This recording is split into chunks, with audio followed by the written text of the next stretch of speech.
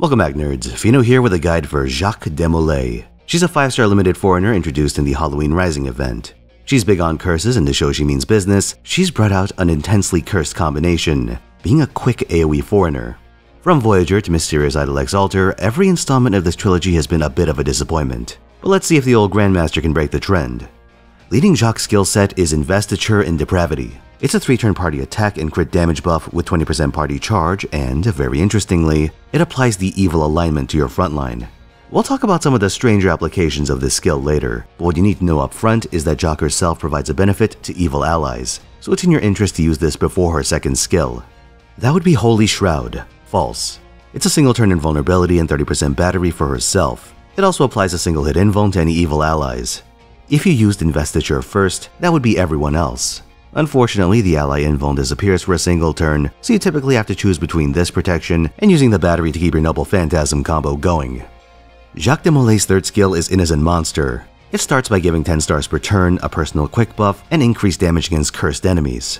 In around 2 years from now, we'll get the FGO Arcade Collab event, and this comes with an upgrade to Innocent Monster. In addition to everything else, it'll preemptively curse enemies on Jacques' basic attacks, so even the first card gets the curse bonus. Neat stuff, and I'll get to its implications. But for the time being, I'll be working under the assumption that you don't have this upgrade.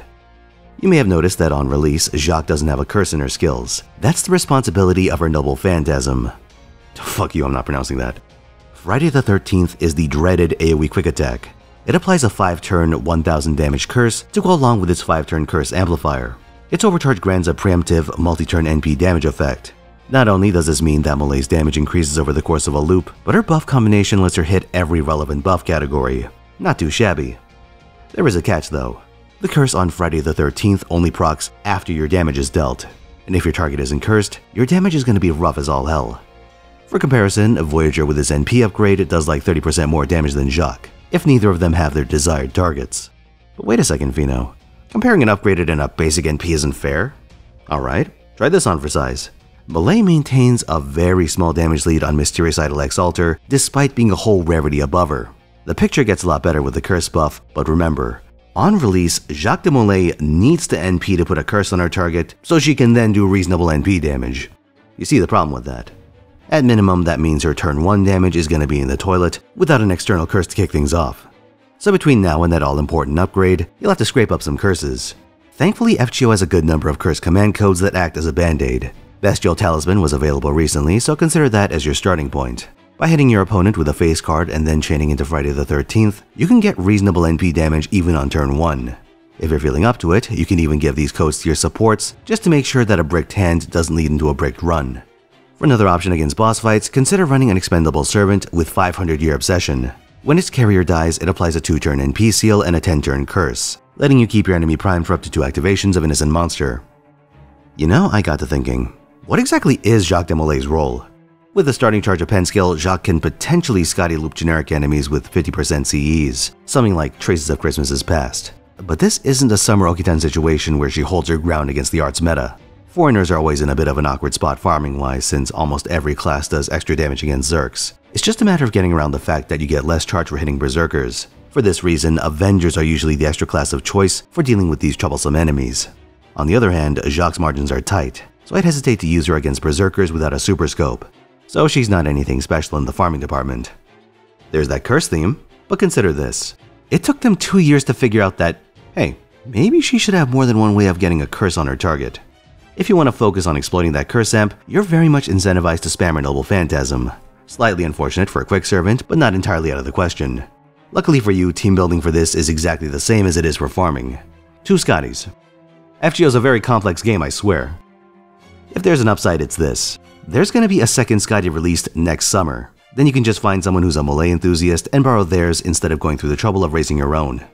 In general, I don't recommend Molay for curse memes. If you really want to get into that style of gameplay, consider waiting for the alter ego Taisui, who comes out early next year. He has a very unique, contagious curse mechanic that's way more fun to use. And as an art servant, he's much better equipped to spam his effects. Back to Molay, if your hipster gland is tingling, you might think to take advantage of that Entity of the Outer Realm passive and run Jacques de Molay with Van Gogh. Her Noble Phantasm grants a boatload of crit damage to anyone with that checkbox ticked. But here's the thing. Jacques de Molay wants to curse enemies to activate her damage amplifier and also make use of her curse amp. Van Gogh, on the other hand, wants to suck up all the curses on the field to boost her battery. What Van Gogh doesn't want is to absorb a 1k curse and eat that damage. So don't get fooled by the surface level synergy.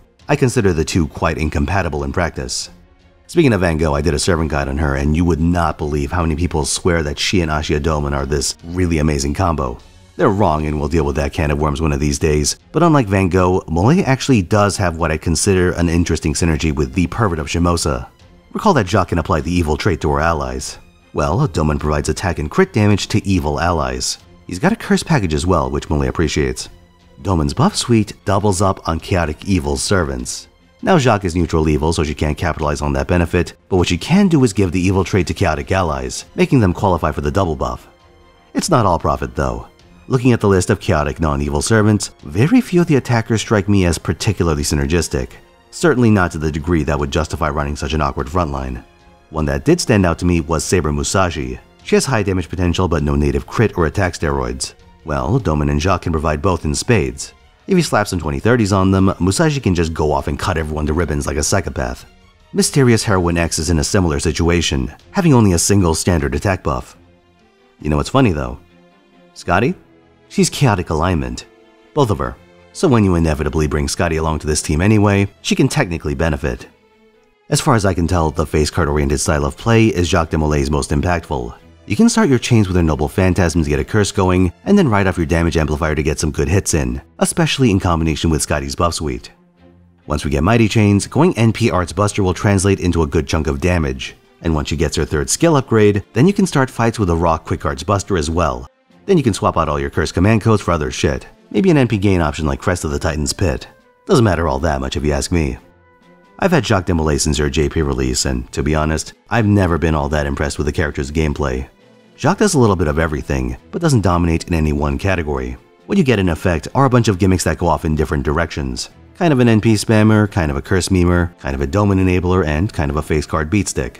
It's a lack of focus that bedevils her, and in combination to this year's onslaught of power picks, result in a servant that you can safely leave on the bench. Now you guys seem to like the history section from the Zenobia video, so let's go for another. Again, with some caveats. Firstly, I'm not a real historian. This is just the story as I know it. Secondly, medieval Europe isn't in my wheelhouse. I'm more of an antiquity kind of guy. So if any enthusiasts want to fill in the gaps down in the comments, I'd certainly appreciate it. With that said, here's what I know. Jacques de Molay was the Grand Master of the Knights Templar. They were an order established to protect pilgrims traveling to and around Jerusalem. They formed their organization on a spot near Solomon's Temple, and this is reflected in their full name. The Poor Fellow Soldiers of Christ and of the Temple of Solomon. Pretty unwieldy, which is why everyone just calls them the Knights Templar. They didn't have much to start, hence the poor part. And that was a problem. Fielding a knight in the Middle East is expensive as hell. The equipment, the animals, just keeping them in fighting shape in adverse conditions. It was a logistical headache, but the Templars got a few legs up. Over time, the popes gave them advantages, like the authority to raise their own money and also move through Europe without regard for the more worldly states occupying that land. On top of all this, the Templars developed what were essentially banking methods for the pilgrims and crusaders. A pilgrim carrying coin and treasure was prime pickings for bandits. That and they're stuck carrying around all this shit. To get around this, the Knights Templar would let the pilgrims deposit their valuables before setting out, and they'd give them a letter saying how much they put in. Once they got to their destination, they could withdraw money against the amount listed in that letter. Between this and the logistics of running their army, the Templar organization got very, very good at making money. They had their banking, they owned a lot of land that produced value, and apparently they just straight up did money lending, which is kind of impressive because last I checked, that was a taboo thing around this time period. But the point is that the Knights Templar had an army, and an astronomical amount of money for a non-state organization. Down the road, their military fortunes would take a nosedive.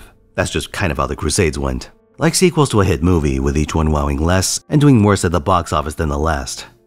Like Jaws. And much like Jaws, we don't talk about the fourth one.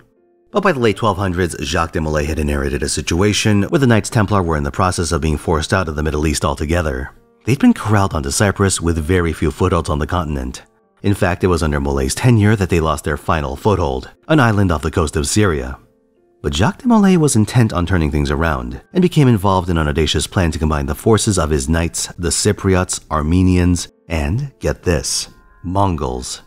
At this point in time, branches of the Mongol Empire had reached all the way to the Mediterranean, and they were known as absolutely brutal warriors of the highest caliber, held back only by a love of drink and a tendency for their states to infight.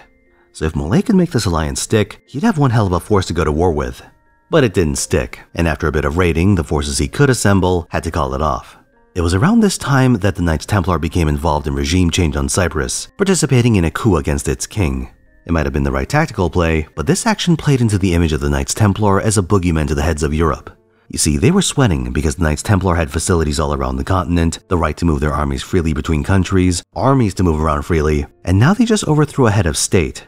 One monarch in particular was sweating up a storm Philip IV of France. Philip the Fair. Fair isn't good looking, by the way, not the just kind of fair as you're about to find out. You see, Philip had a lot of wars to fight. He had to finish one in Spain, and he started two one against Flanders, part of modern day Belgium, and another against England. These wars were outrageously expensive, and Philip was always on the hunt for cash to fund his military adventures. And a couple of times he'd do this by picking even more fights against the Lombards, the Jews, and eventually the Knights Templar. You see, Philip the Fair had wanted to borrow an astronomical sum from the Templars, and for their part, the Knights Templar had made the fatal mistake of agreeing to give him the money. Philip could pay it back, I guess, or he could do the other thing. So while Jacques de Molay was in France for a funeral, Philip ordered for all the Templars in the country to be arrested. On what charges? Heresy. Rumors of one kind or another had always swarmed around this curious organization, something that was essentially a medieval multinational corporation. So people had a suspicious eye towards them, and recently some disgruntled ex-members were saying that there was some nasty shit going on behind the scenes. That as part of their initiation, they were ordered to commit unnatural and unholy acts. Philip had no reason to believe any of this was true, but it made for a convenient excuse. The arrest was on Friday the 13th, which is where Jacques' Noble Phantasm gets its name, and the day may have obtained some of its unlucky connotation from its connection to the Templars' downfall. At this point, you might be wondering, why wasn't the Pope making more of a stink about these holy warriors getting manhandled? Well, that's because the papacy was reeling from an assault by. Philip the Fair. Dude, no one is safe from this guy. He kidnapped one pope, who was so shocked by the experience that he died soon after, and rumor has it he poisoned another. This brings us to Clement V.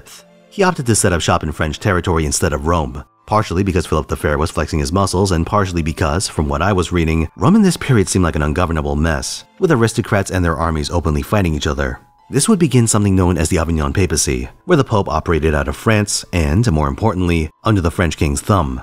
Essentially, the Pope was in a weak position, and this let Philip dictate the tempo of what happened next.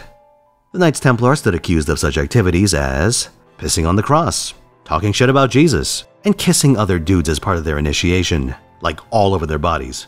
If you're picturing sexy evil fate Jacques right now, hot. Old, balding 60 something Jacques, less odd. They were also accused of worshipping a weird goat demon by the name of Baphomet, which is the namesake of foreigner Jacques' little pet. Jacques and the other Knights Templar were tortured until they confessed to these activities. They took these confessions back in the presence of the Pope's men, but the damage was done, and eventually, the Pope called for the arrest of every member and the confiscation of the order's property, not just in France but all of Christendom. As for Jacques de Molay, his attempt to walk back his confession earned him a grisly fate, burning at the stake. As he was dying, he allegedly cursed the duplicitous king and the cowardly pope, shouting that within a year they would answer for their crimes before God. And surely enough, both Philip the Fair and Clement V would die that very year. The moral of the story don't lend money to the French. But as you might surmise, the FGO mobile version of Jacques de Molay is colored by those accusations of heresy and that final curse. FGO Arcade, on the other hand, seems to have taken a more straightforward interpretation of the Templar Grand Master, minus the hairline. This video ended up being way longer than I expected, but let me know what you thought. Like if you enjoyed this video, subscribe for more, and come watch me at twitch.tv slash Tyson where I stream every weekend, 3pm Pacific time, Friday through Sunday. I'll see you there.